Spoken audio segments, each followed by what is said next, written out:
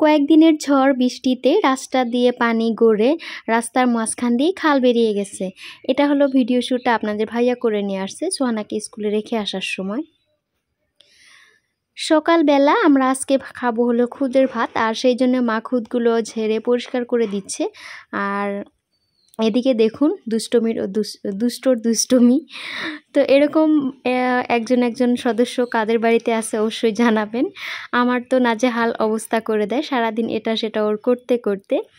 তো ওই যে মা বাড়ি থেকে মুড়ি, কলা এগুলো পাঠিয়ে দিয়েছিল। সেই মুড়িটা আমি ঢালতে নিয়ে আসছি আর মেহতাব টেনে ফেলে দিল আর কি। তো উপর থেকে কিছুটা মুড়ি তুলে নিলাম, জানি না কে কীভাবে নেবেন এটা। নিচ থেকে কিছুটা আমি উঠাই নাই। আর বাকিটা এই যে বয়মে ঢেলে রাখছি। এখন আমি কিছুটা মুড়ি থালিতে নিয়ে নিচ্ছি, আর সাথে হলো একটা কলা। এভাবে করে সবার জন্য একটা করে থালি সাজিয়ে নিলাম, আর সবাই আমরা বসে বসে খেয়ে নিলাম। তো তারপর এই যে এখন হলো মুড়িটা আমি ঝাড় দিব, আর মাঝখানে সভাপতি মশাই বসে আছে। আসসালামু আলাইকুম বন্ধুরা, আমি সাবিনা ইয়াসমিন আসাম থেকে বলছি। সাবিনা শ্রেলাই ব্লগ চ্যানেলের আর একটা নতুন ভিডিওতে আপনাদের সবাইকে স্বাগত জানিয়ে আজকের ভিডিওটা শুরু করে দিলাম।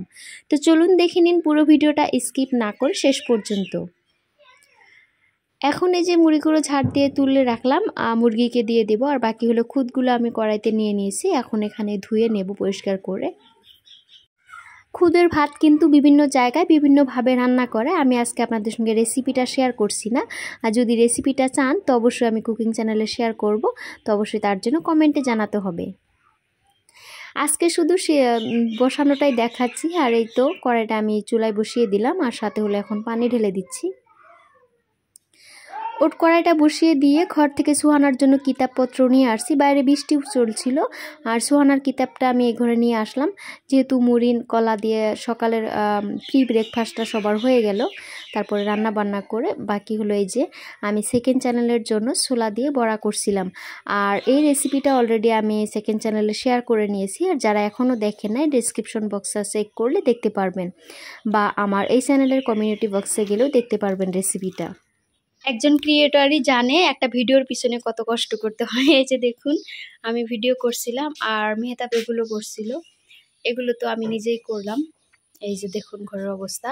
আর মেহতাবের যেটা ফাইনাল লুক এটা আপনি দেখ, আমি দেখাই আপনাকে। এই যাব? ওই। এনে কি করছাও? এনে কি এনে কি গতর, এনে কি দেখি? এনে কি দেখি? এই যে দেখুন, কাদো পানি দিয়ে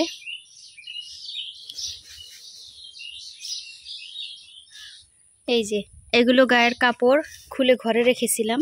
আর ওখান থেকে এনে ওই যে, এই পানিতে ধুয়েছে। এই হলো আর অবস্থা। এটাই হলো একজন ক্রিয়েটরের পিছনের পরিস্থিতি, ক্যামেরার পিছনের পরিস্থিতি।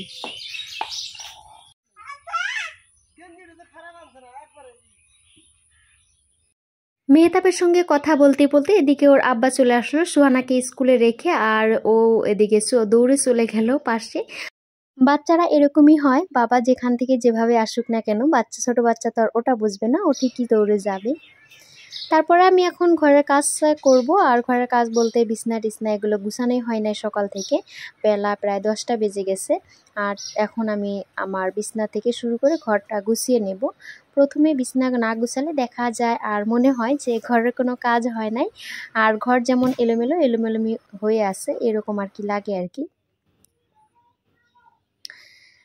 বিছনাটা গুছিয়ে টেবিলের উপরে কিছু টুকিটাকি জিনিস এলোমেলো ছিল, সেগুলো গুছিয়ে নিলাম।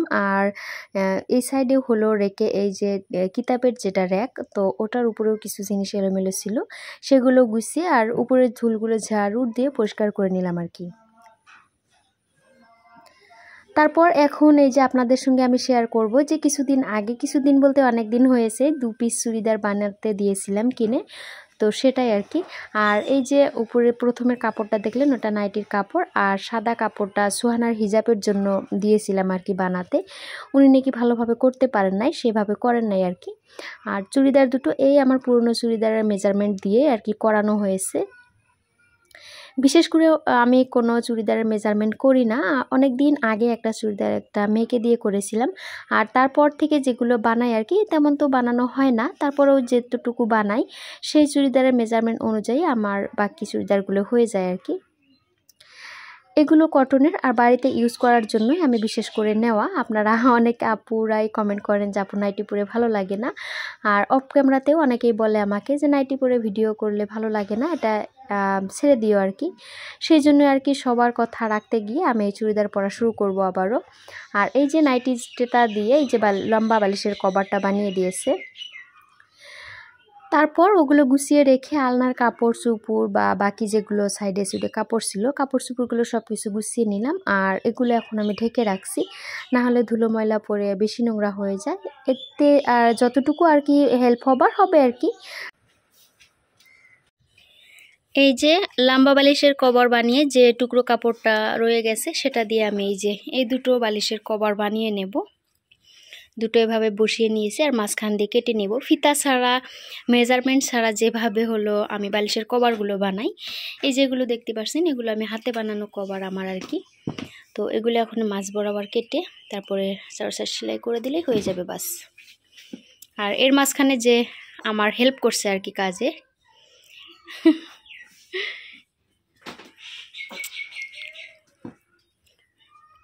ওরে বাবা।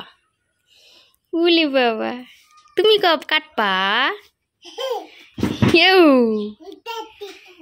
তাতি তাতি গম দিবে গম দিবে আজকের ভিডিওর কোথাও কোনো অংশ যদি একটু হলেও ভালো লেগে থাকে সেই ভালো লাগা এবং ভালোবাসা থেকে একটা লাইক করে দেবেন।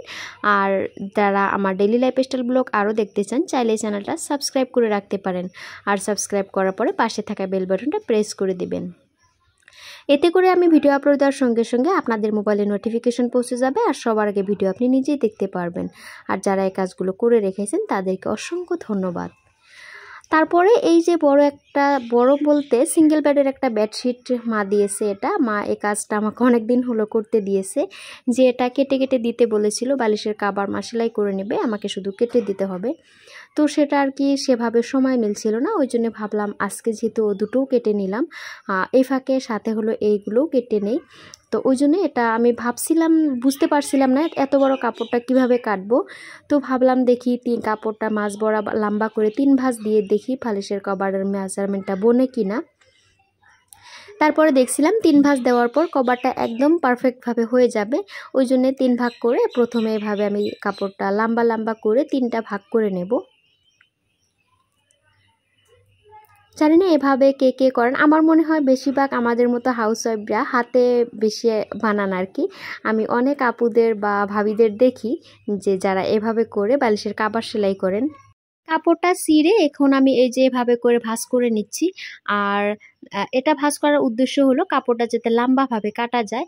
এই যে লম্বা করে কেটে ভাঁজটা খুলে দিলেই দেখা যাবে একদম লম্বা লম্বাভাবে কাটা হয়ে গেছে। কোনো ধরনের ব্যাকা তেরা হয় নাই।